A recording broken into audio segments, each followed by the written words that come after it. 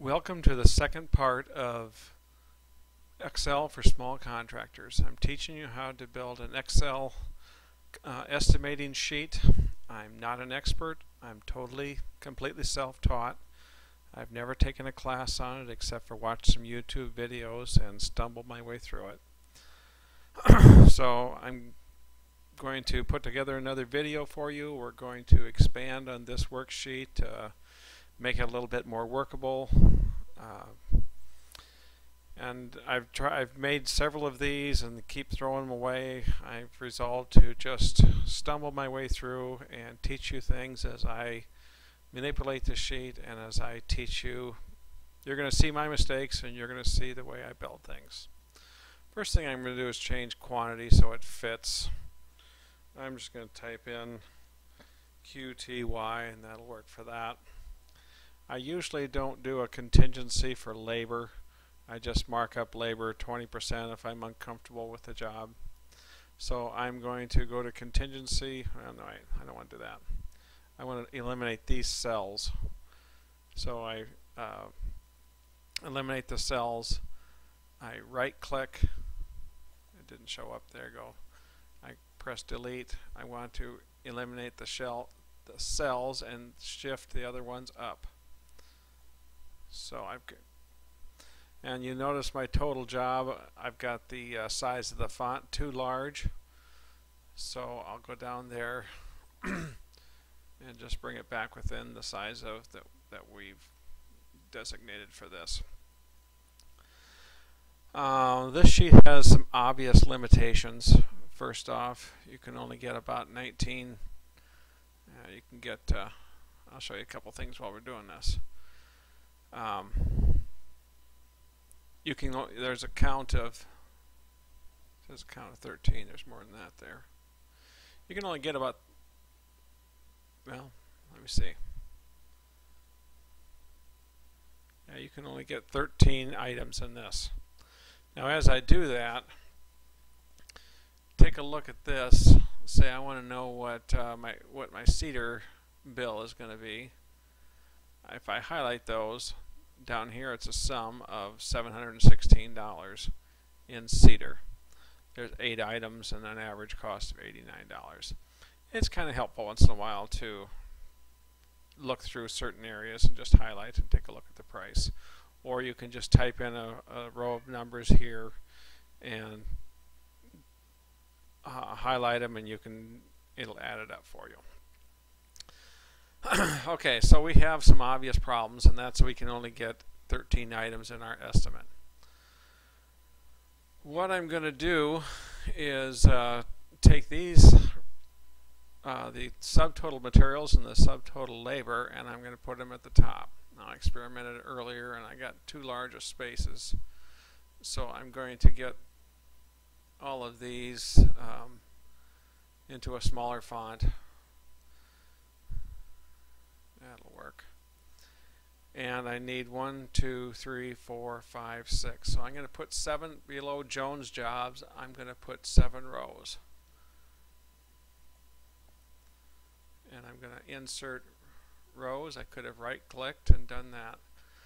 A friend of mine mentioned that in the very first video I did I confused and I was using right click when I meant to say left click and vice versa. So I created rows up there to work with. I'm going to take this group of cells and I'm going to grab it in the middle and just move it up. Okay. Now I can keep building my estimate as far down as I want. I'm going to use fill again and I'm going to fill it down to, let's say, row 200. It's easy to remember, easy to work with. I'll show you why, why we're going to have to keep some of that, remember that later. And also what we're doing is we're transferring this formula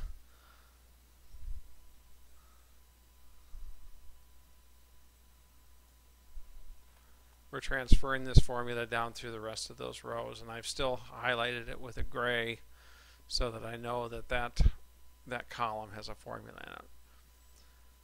So the, here's the formula that I transferred down. H28 times G28. Down here on row 36, it's H36 times G36. I'm going to change this to say just hours. Okay, what did I want to do?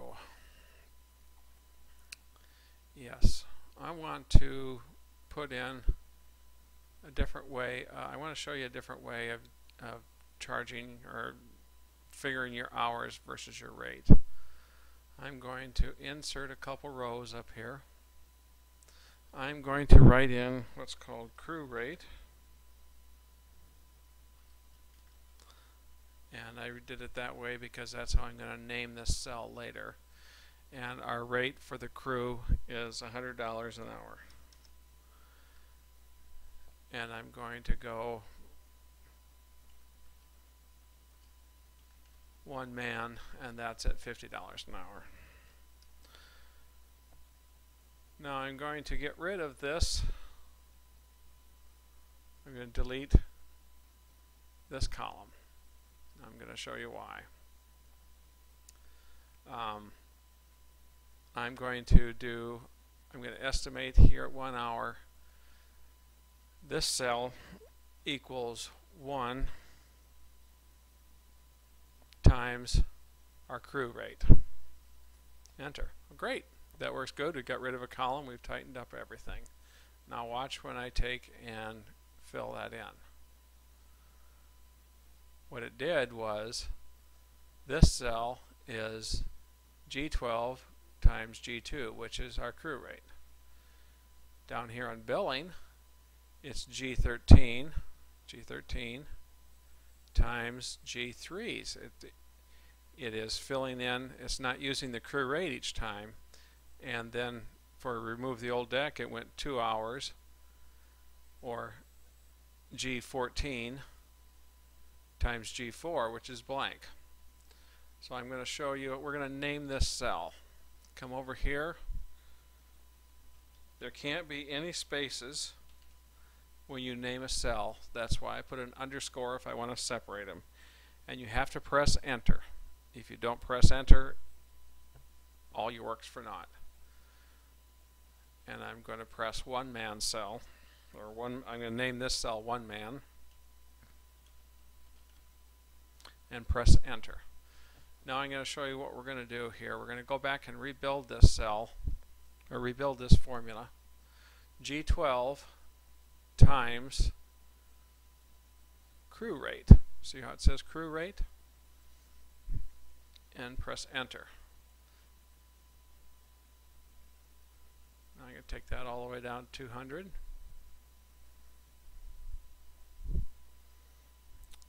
And now row 200 is 202. Well, I guess I'm all the way down 202. Right, is 202 times crew rate. I want it to be at 200 because we're going to have to do our totals later. So I'm going to clear um, clear all from those two cells. Doesn't really matter. Our materials, our subtotal of materials is still doing D12 through D30 and yet we've added a whole bunch of spaces underneath. So all we have to do to change that formula is go up here and put in 200. Press enter. Same thing with our sub our subtotal of our labor. We're going to the way we are set up on the first sheet, we're D we're H12 through H30. Now we want that to be H200. Enter. Now once in a while you're going to want to figure a, a job and you're going to say okay the crew is going to do all these things but when it gets to building the stairs that's just going to be one person. So what I do for that is I take that here's it's got my form formula up there for that cell I eliminate crew rate and I insert one man rate. Enter. And I, I uh, use fill to create that same formula for row 24 so it's G24 times one man now when I do that I like to put a color in the cell so I usually use orange so it's kind of a warning and now, now I know that the rate is different on those two cells that's just one man doing it another thing that I like to do is uh, let me see, where do we have a space for that? We'll just put it in here as total hours.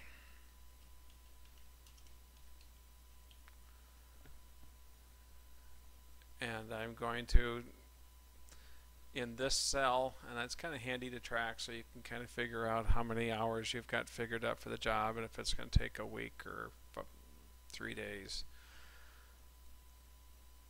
I'm going to press auto sum and then highlight all the way down to row 200.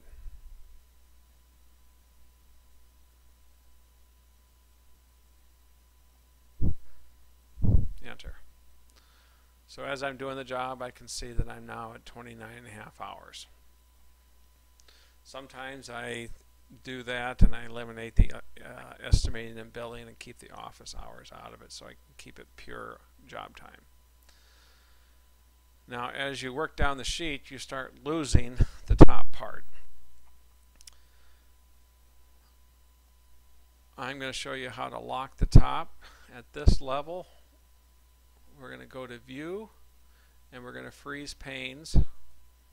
So now everything above that is frozen. So as we work our way down on our materials, we still can see what materials, price, quantity, and uh, we can still see how the job is uh, totaling out. Another thing that I like to do is uh, add some color. For my jobs, I always put uh, materials at blue and labor at uh, as green.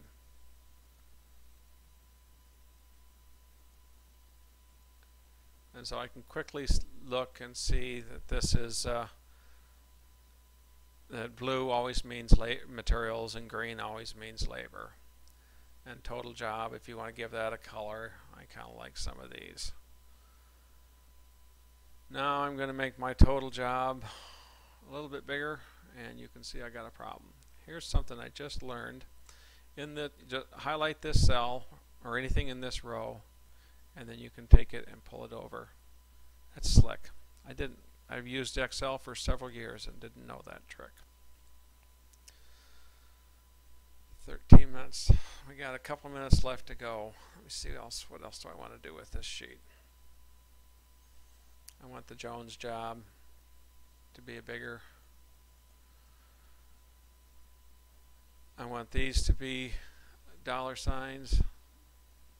You can see how it adjusted the size of that column as I did that.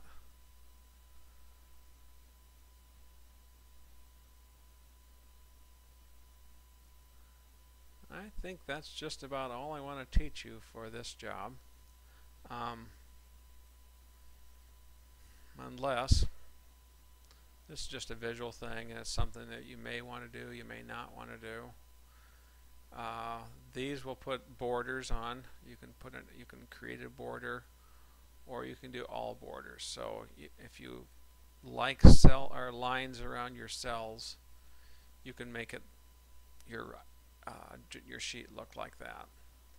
I'm not going to keep that. I'm going to stop this uh, YouTube and we'll pick up with uh, YouTube number three and thank you for following along. Now I think you've got a pretty usable uh, estimating sheet that you can take up to about well, as many you can put as many uh, rows in there as you want. Thank you very much for watching.